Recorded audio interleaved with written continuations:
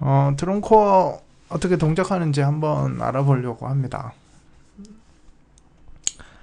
어, 지금 기더브의 드론 코어고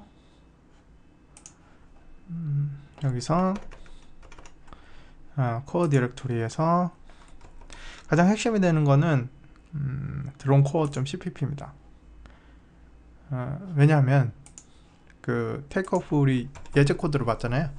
여기서 보면 예제 코드 작성할 때 main에서 DroneCore를 이렇게 선언을 하고 음, UDP 연결을 하고 그 다음에 어, discover에 대한 그러니까 뭐 장치를 찾는 것들이죠. device를 찾는 거에 대한 어떤 동작을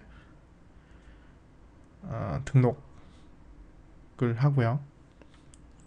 다 device core에 있어요. device core에 그리고 다음으로 하는 게 음, device를 얻어오는 겁니다.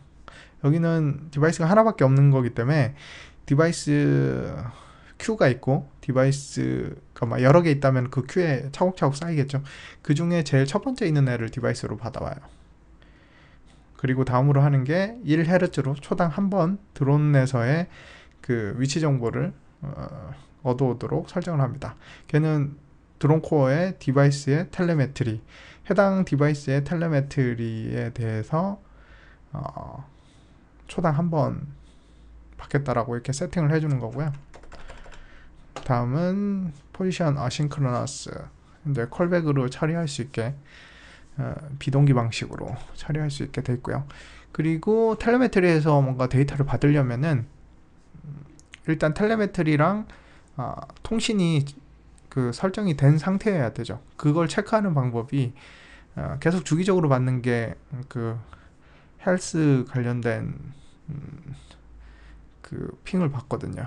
그래서 텔레메트리에 지금 헬스가 자, 정상적으로 들어오고 있는지를 체크를 하고 그런 다음에 아 연결이 정상적으로 됐구나 라는 거를 이때서야 이제 확인이 되는 거고 그 다음에 이제 실제 명령을 주는 거예요 해당 device에다가 action 쪽에 있는 arming.